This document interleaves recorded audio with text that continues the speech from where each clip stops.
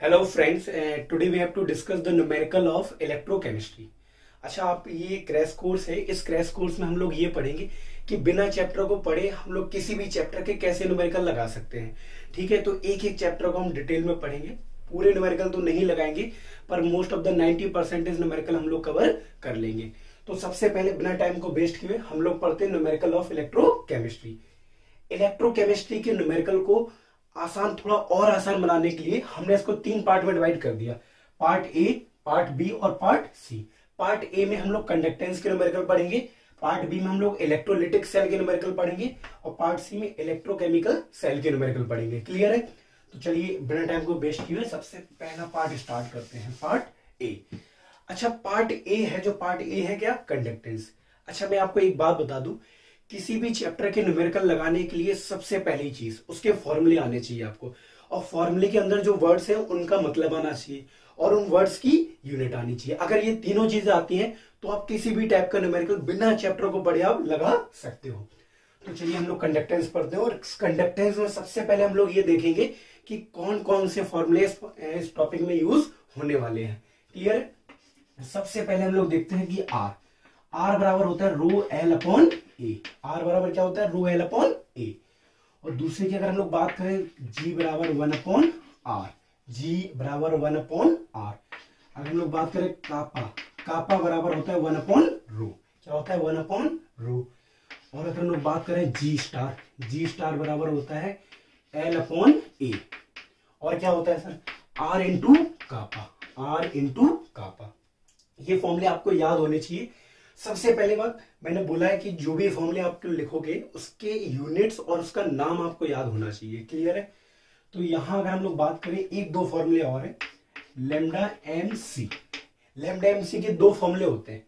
एक kappa upon C in two thousand और एक होता है कापा अपॉन सी अच्छा ये वाला फॉर्मूला कब यूज़ करेंगे और ये वाला फॉर्मूला कब यूज़ करेंगे? जब कापा की यूनिट साइमन सेंटीमीटर इनवर्स में हो। और सी की यूनिट मोल पर लीटर में हो, मोल पर लीटर और मोल पर लीटर को हम लोग कैसे लिख देते हैं? कैपिटल एम से भी लिख देते हैं. और ये वाला फॉर्मूला कब यूज़ करोगे? जब कापा की यूनिट साइमन मीटर इनवर्स हो. और सी की यूनिट क्या हो? मोल पर मीटर क्यूब तब ये वाला फॉर्मूला यूज़ करोगे. तो इस फॉर्मूले में ज़्यादा दिक्कत नहीं होनी चाहिए. आपको सामने सारी चीज़ें लिखी हुई है. अब हम लोग को बस एक बात और जाननी थी, मैंने क्या बोला था? आप फॉर्मूले याद करने फॉर्मूले के बाद उसमें जो वर्ड यूज़ होते हैं उनकी हमें जो भी वर्ड यूज़ हो रहे हैं, उनकी हमें मतलब आना चाहिए। तो सबसे पहले हम लोग आते हैं पे आर पे। आर को क्या बोलते हैं हम लोग? रेजिस्टेंस क्या बोलते हैं? रेजिस्टेंस और रेजिस्टेंस की यूनिट क्या होती है? ओम क्या होती है? ओम ओम को हम लोग ऐसे भी लिख देते हैं और हम लोग जनरली कैसे लिख देते हैं? ऐसे भी लिख सकते हैं ओम को। ठीक है? आया समझ में? अब आता है रो। रो क्या होता है, सर? रो के दो नाम होते हैं। सबसे पहला रजिस्टिविटी रजिस्टिविटी रजिस्टिविटी भी बोल सकते हैं और स्पेसिफिक रेजिस्टेंस क्या बोलते हैं? स्पेसिफिक रेजिस्टेंस अच्छा सर इसकी यूनिट क्या होती है? इसकी यूनिट जनरली तो ओम मीटर होती है, पर न्यूमेरिकल में सबसे ज़्यादा यूज़ होने वाली यूनिट क्या होगी? ओम सेंटीमीटर ओम सेंटीमीटर जो कि हम लोग न्यूमेरिकल में यूज़ करेंगे। अच्छा सर एल क्या है इसमें?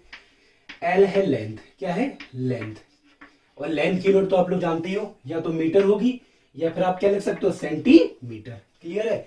या तो आप मीटर लिख सकते हो या सेंटीमीटर अच्छा एरिया को क्या लिखोगे? ए फॉर क्या होता है? एरिया और एरिया की यूनिट आप लोग सभी जानते ही हैं क्या होती है? मीटर स्क्वायर और सेंटीमीटर स्क्वायर क्लियर है? आप क्या बचा सर जी क्या होता है? जी भी देख लीजिए। जी को हम लोग बोलते हैं क्या? कंडक्टेंस क्या बोलते हैं? कंडक्टेंस तो इसकी जो ऐसा यूनिट जो सबसे ज़्यादा यूज़ होने वाली है वो है साइमन। क्या होता है? साइमन। ऐसे नोट करेंगे ऐसा यूनिट होती है इसकी साइमन। आप क्या बचा सर? जी स्टार तो जी स्टार को मैं बता दूँ सेल कांस्टेंट से नोट करते हैं। किससे नोट करते हैं? सेल कांस्टेंट और इसकी यूनिट क्या होती है? इसकी यूनिट होती है सेंटीमीटर इनवर्स मीटर इनवर्स भी हो सकती है, पर जनरली सेंटीमीटर इनवर्स हम लोग ज़्यादातर यूज़ करेंगे।